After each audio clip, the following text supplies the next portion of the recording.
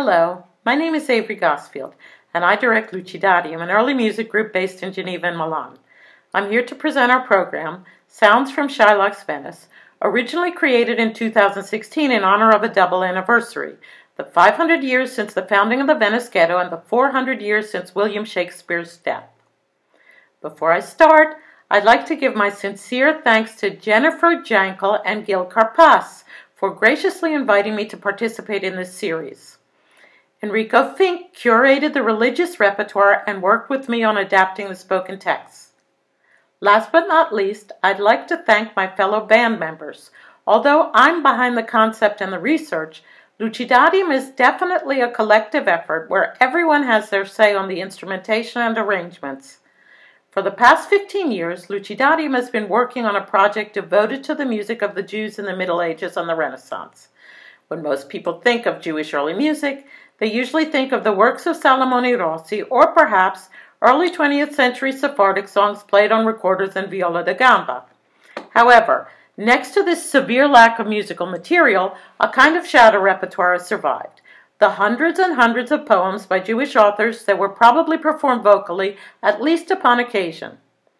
Written in Hebrew and or diaspora languages, they cover a vast range of themes, from high to low, from specifically Jewish to more general, and are of an undeniable artistic, cultural, and historical interest. Their authors switch from one language to another with ease, translating, transposing, borrowing forms and subject matter from the surrounding cultures, a real reflection of the intense and widespread cultural exchange that went on at the time.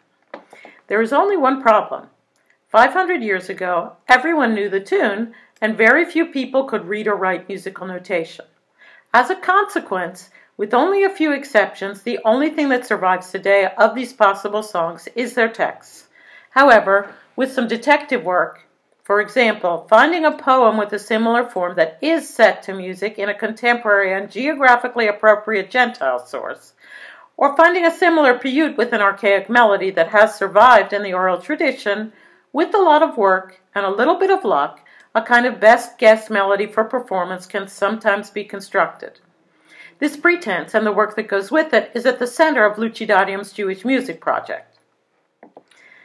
Sounds from Shylock's Venice was in part inspired by James Joyce's Ulysses, with Shylock and 16th century Venice standing in for Leopold Bloom and 1904 Dublin.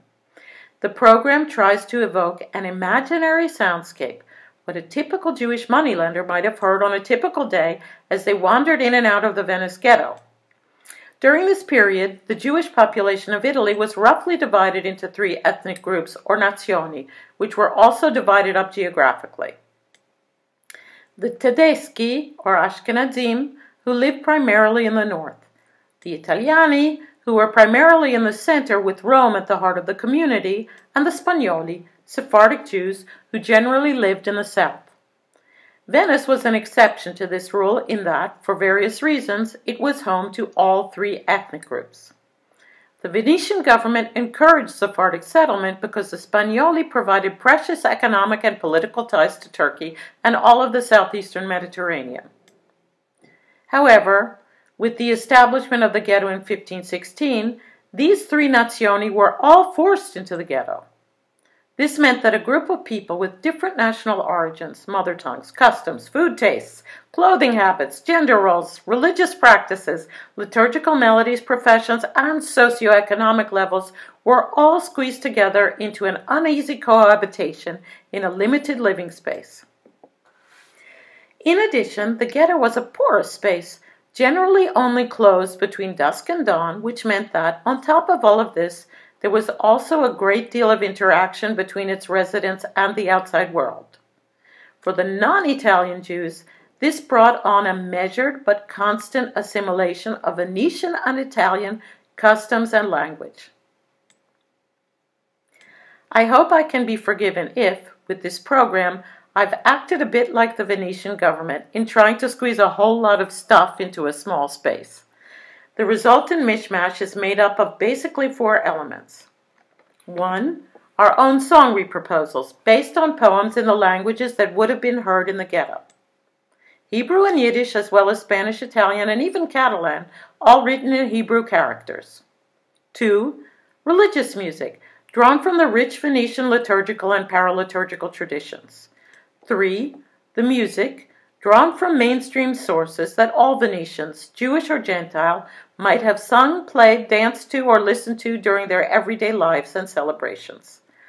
Last but not least are the spoken texts, taken from the Venetian archives and the autobiography of Rabbi Leon Modena, in which Modena talks frankly about his own gambling addiction and the murder of his son Yuval at the hands of a vicious Sephardi gang. Absolutely recommended reading for anyone who wants a real sense of what life in the ghetto was like.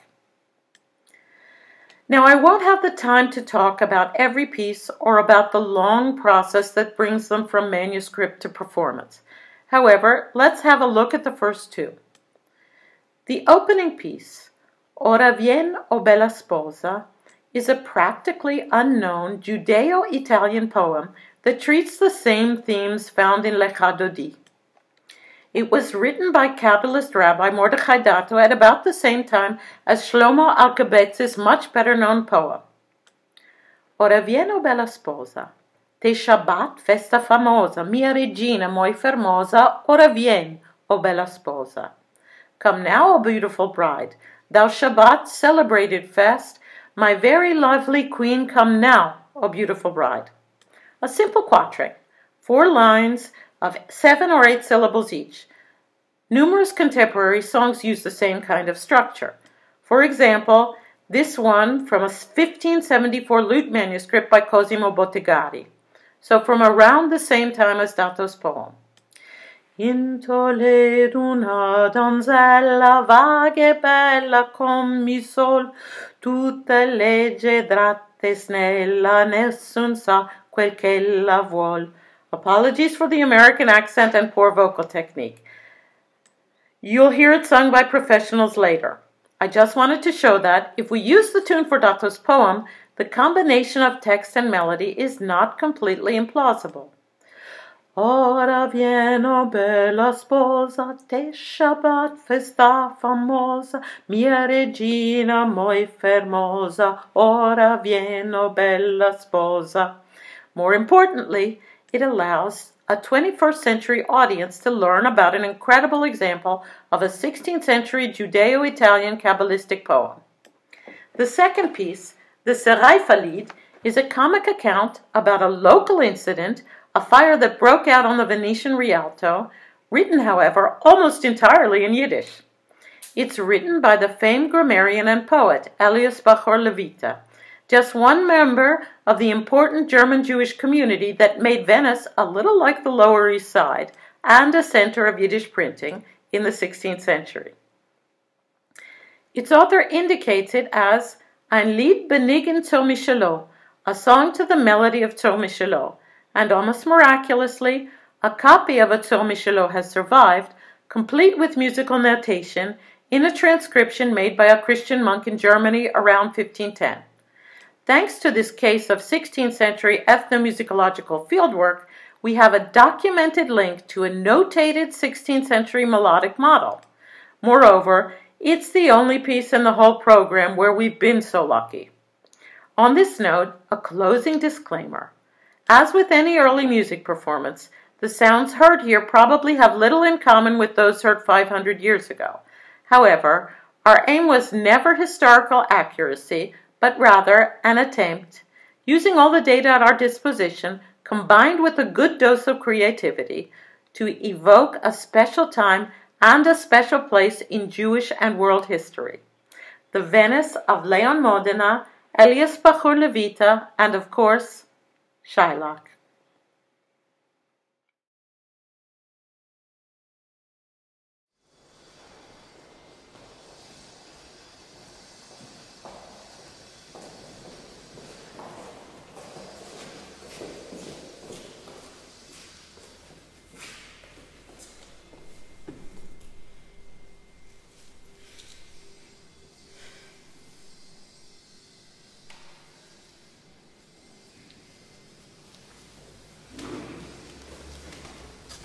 Good evening from Jerusalem on the Isonzo. So we are in, in the, the um, synagogue of Gorizia in Italy, We're coming out to you from Jerusalem on the Isonzo, going to Jerusalem of the North.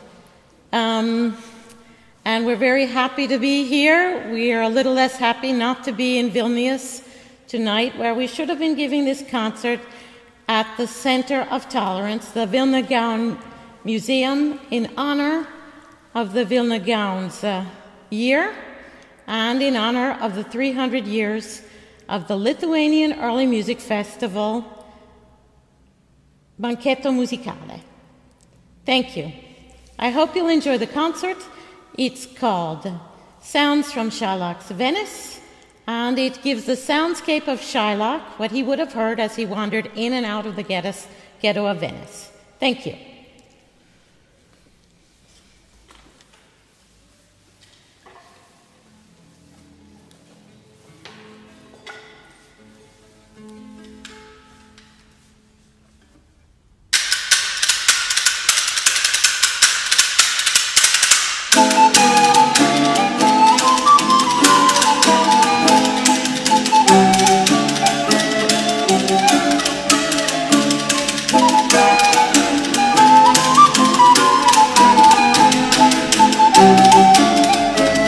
Ora bella, bella sposa, che sciabatta stava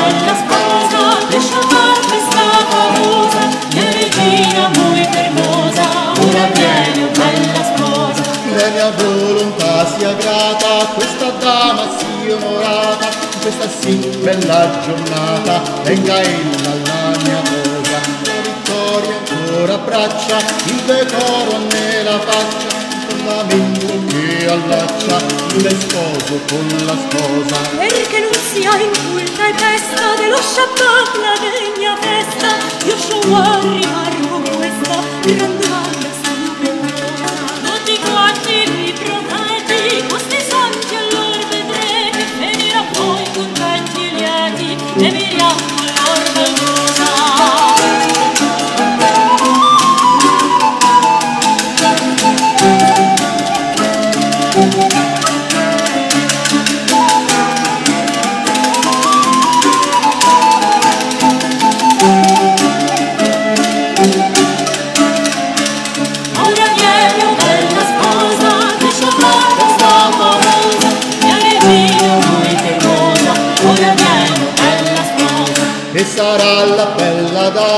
verità che a Dio chiama e le anche avventurosa.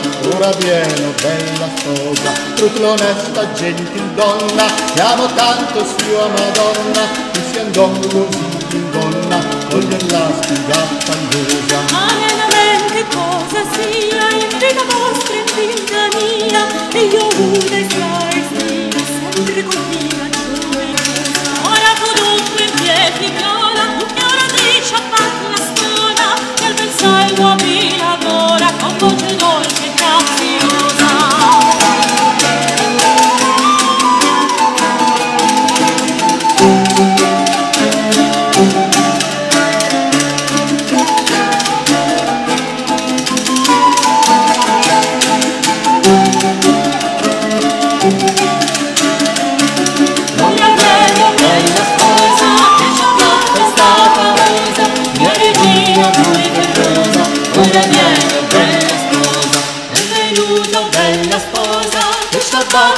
大沙漠。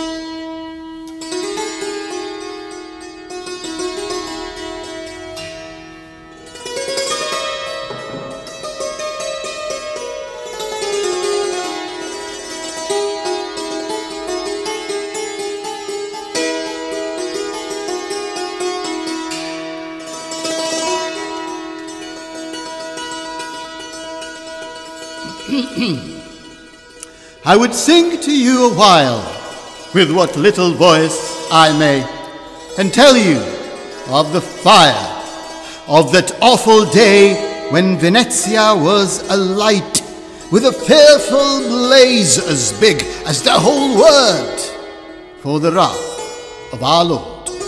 It was the most horrendous roar as Rialto went in flames.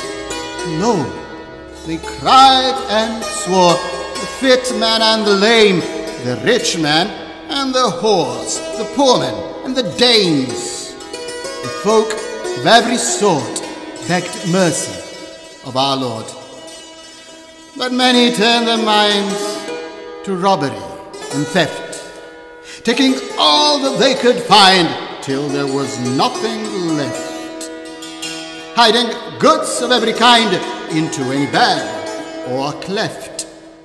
They kept searching more and more and thanked the goodwill of the Lord. Ich euch in winzig singen mit meinem Mäusen Chor. Von neue Geisenmengen, die jedermann wissen soll. Von der Magd in der Magie, die Geist gewiss das da sing mal. Zur Windig in der Schrift, ich sara mabonai. In grasen jamar, da dobren terriat. Foin kai fleiten jentira, man von jaden jangonat. Jaden roten jaren, das kämen bald. Und flott strete blöden, man abonai. Mein Beis legt mich als Laren, schickt sie in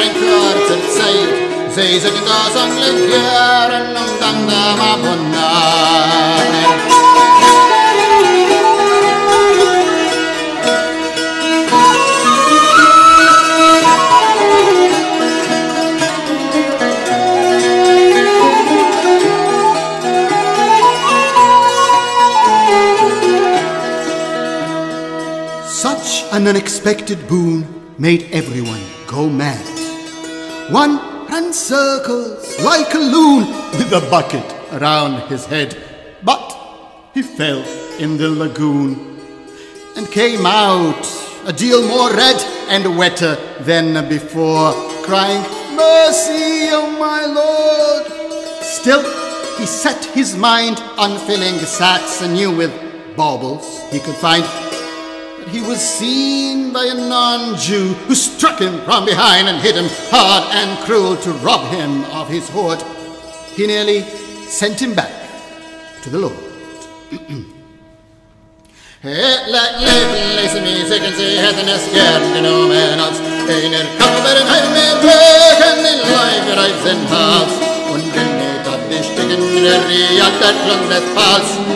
Er lenne von alles es lege no schreit auf ja bolloi Der nach Gaser weiter streben, lief me klagen sech Immer wollt er geben, ein Pagament in den Eck Im Gäuse kann kina schlägen, nun sprach im Basch zum Beck.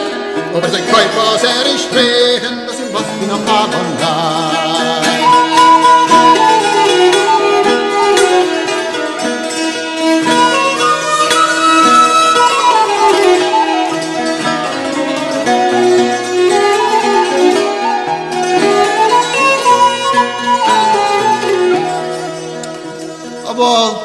precious load, almost all was snatched away. Only to a pair of scissors did he hold, but they too fell into the bay. Genteel friends, do mark my words. Fortune doesn't change. Poor will remain who poor is born. Yet, poor men are the chosen of our gracious Lord. Er nach leper in den Gassen und so hin und her. Aber et verschken er maschen, do wander en schneider scher. Er hot sie wieder bohlen, er hat rosen et garmer. Und verzen dalat es gemacht. Ne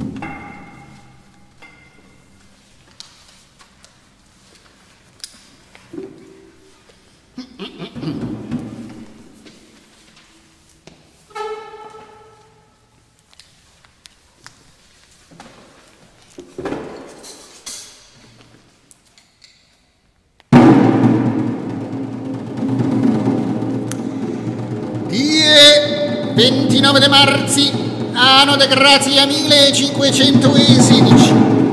Ser Marcus Molinus, Ser Hieronymus Theopulos, Ser Petrus Marcellus, Ser Franciscus Bradigarius, Ser Bartolomeus Contarenus Consiliari, Ser Dominicus Trevisanus Eques Procurator, Ser Leonardus Mocenicus, Ser Zacarias Delphinius, Sapientes Concili, Ser Gaspares Maripetrus, Sapientes Terre Firme.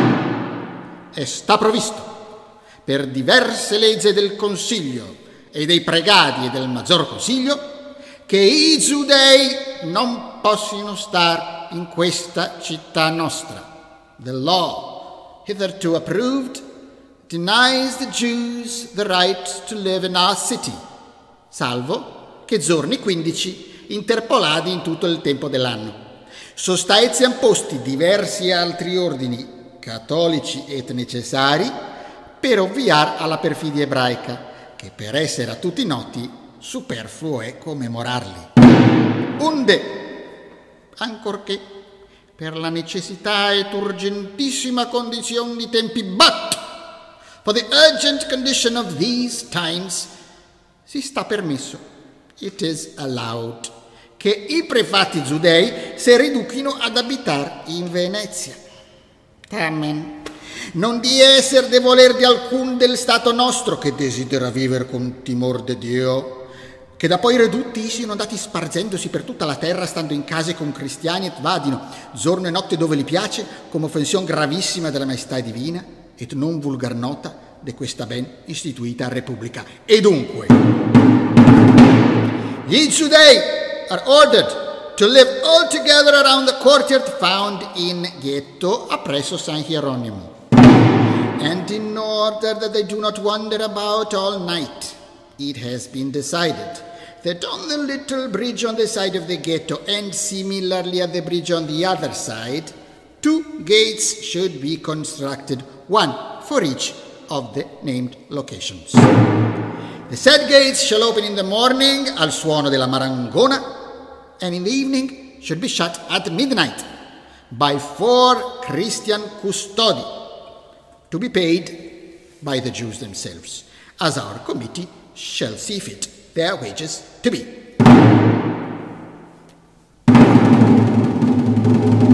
De parte, hey, 130. The non, hey, 44. Non and sure, 8, 8. Approvato dal Maggior Consiglio.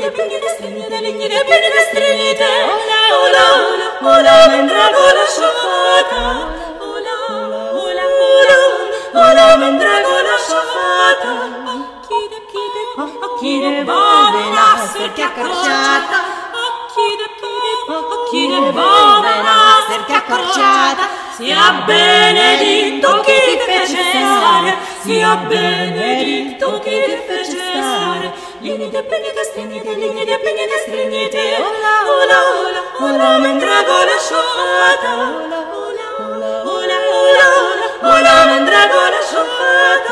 Che te ne vedi casa, che te ne vedi casa innamorata. Che casa, che te ne vedi casa innamorata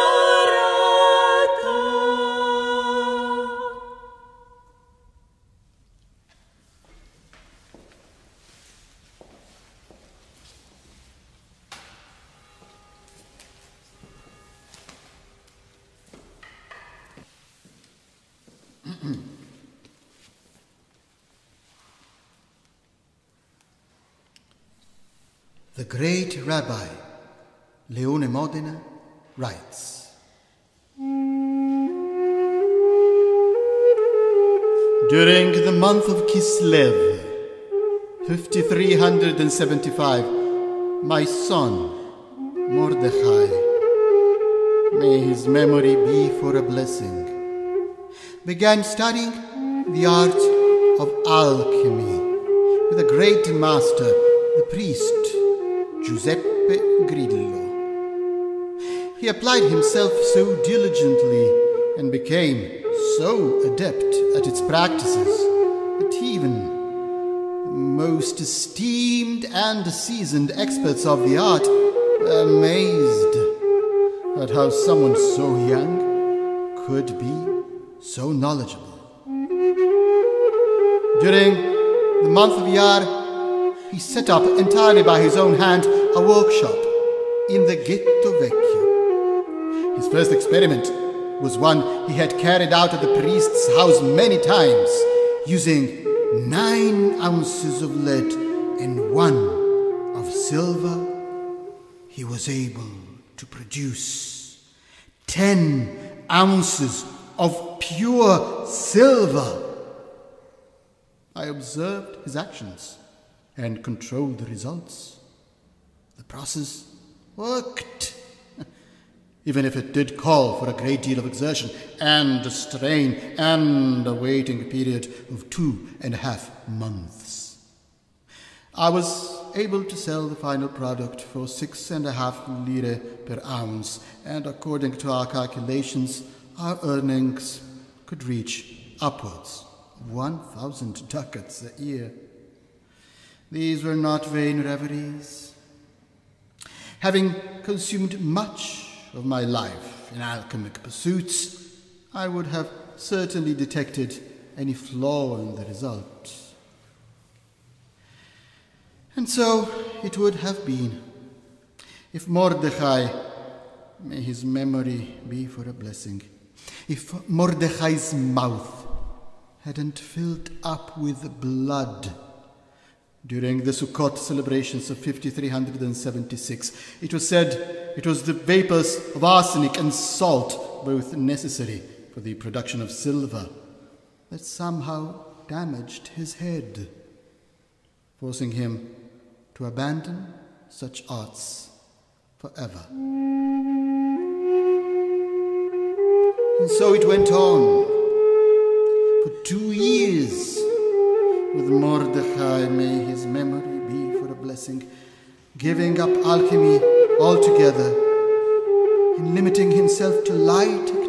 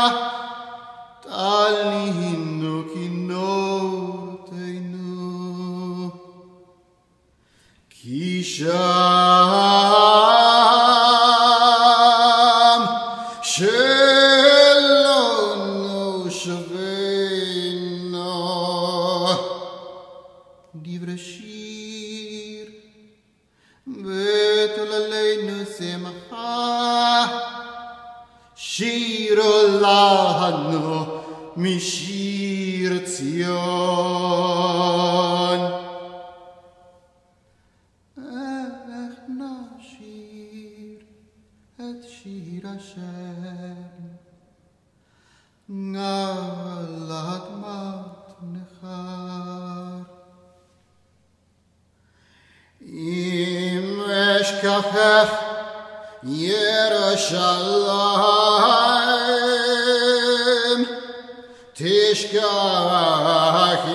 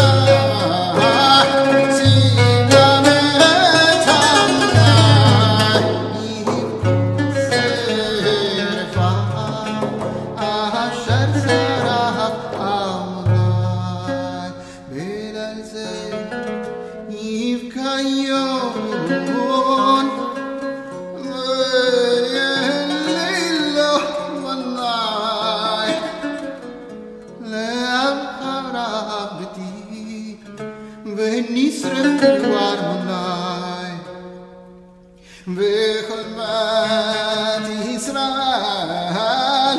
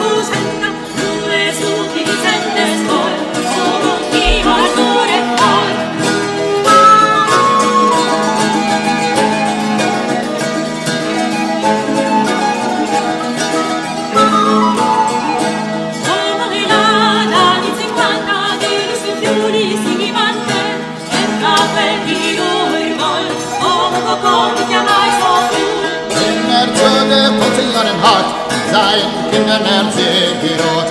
Er er nicht so sein Kinder tot, dass ein Glott der Honera ausgebrot.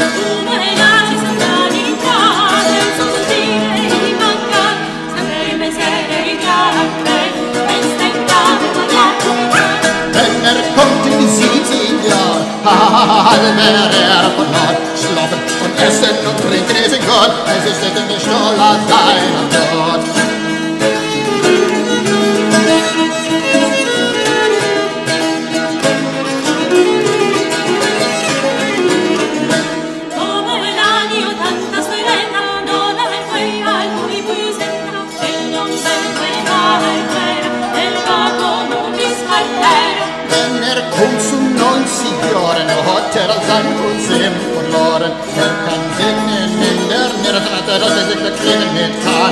Kann